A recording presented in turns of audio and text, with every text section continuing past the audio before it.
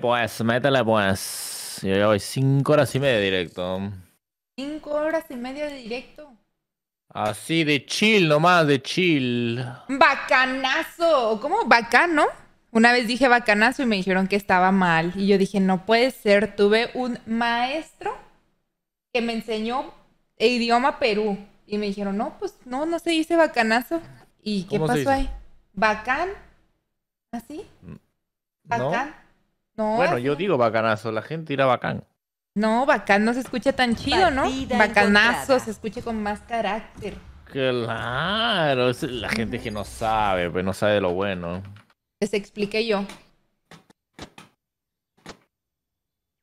No sabe de lo bueno, pues.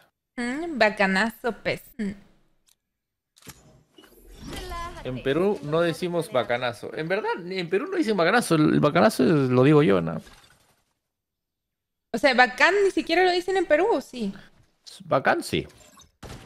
Ya veo. Y bacán es como chido. Claro, es como chido. Entonces sería como el equivalente a decir chidote.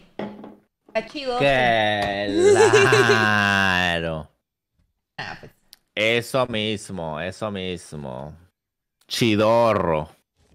chidorro.